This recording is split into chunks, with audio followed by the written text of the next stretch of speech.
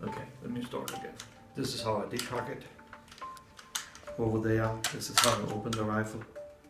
Okay, we have a detachable magazine.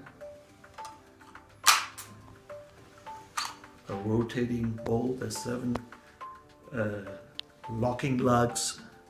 And we, we lock right into the barrel here, very strong.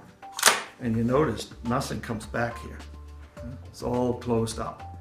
When I carry it, I flip this over. Now my action is, is locked. I'm ready to fire. I manually cock this. Now I cock the mainspring and it's ready. Let me demonstrate how you shoot it. You can be very tight. Notice my hand position never changes. Quick recovery. I do it slow now. The inertia of the shot gets me going.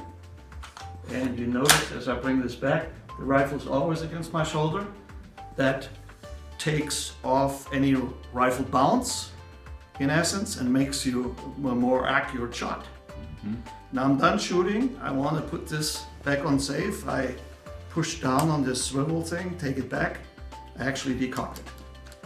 The action is still locked. To get the action open, flip this over, give it a push, and at the same time open it. Okay. I also have a takedown feature here on this rifle. this is all there is to it.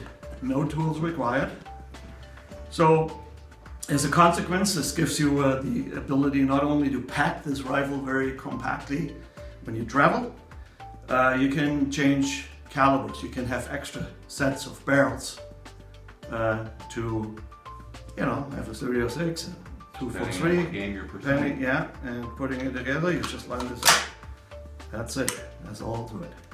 There you go. No tools required.